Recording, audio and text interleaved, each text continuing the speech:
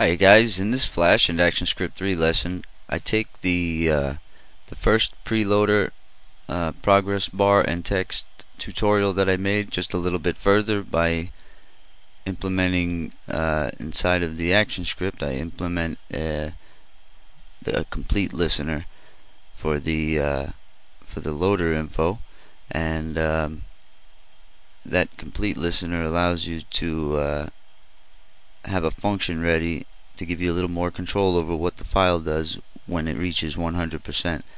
So when it reaches 100%, I have it set to, uh, it says current frame plus 1, which is just a fancy way to say go to and stop frame 2. And so when it hits frame 2 is where your content is. And the content, this is very important, is one solid movie clip. It's called My Whole Site and it doesn't need an instance name. I just instance named it so you'd see what it was. Uh, but it's my whole site.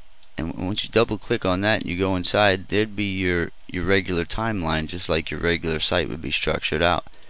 But put it inside of a movie clip because it preloads a whole lot better. And uh, it's better for uh, all around organization of your file.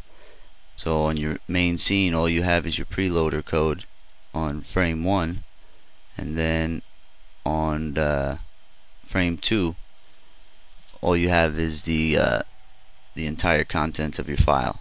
So it makes your main scenes timeline very organized and neat. And then inside of uh, the whole the whole site movie clip here is where you structure out your giant timeline and layers and all that good stuff. So uh, let's take a look at this thing in the browser. And uh, here it is at develop PHP and I'm going to refresh and we'll hopefully see it working. Okay there it is working. And you'll see that the uh, dynamic text is reading. I made it extra extra bulky. I put giant pictures inside of the FLA file to make it uh, really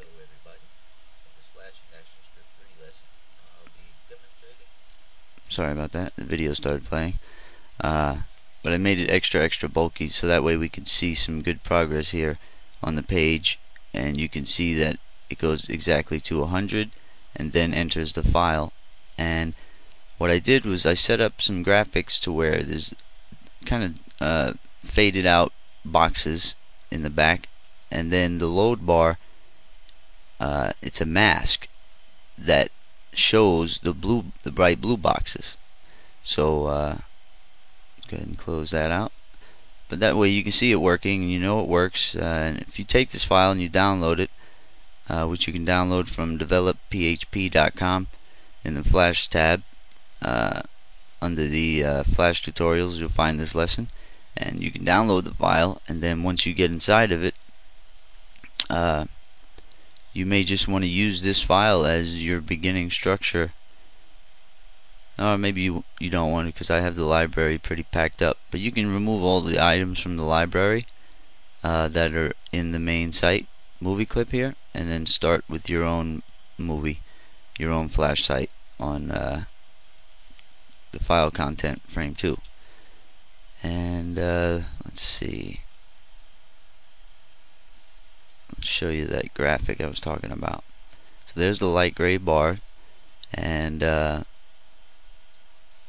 right there if I make it to where you can't see the mask you'll see the bright blue bars uh, boxes so there's the bright blue boxes, there's the dark gray boxes, and the mask is a magenta or pink symbol there. I made it bright pink so you can see it real good. Uh, and that's what grows over these blue bars to reveal and show them. So this one will help you guys uh, if you have a bulky full flash website um, and you need to uh, preload it give your user some indication of what's happening. Tell them something's loading into the browser. Okay, we'll see you guys next lesson.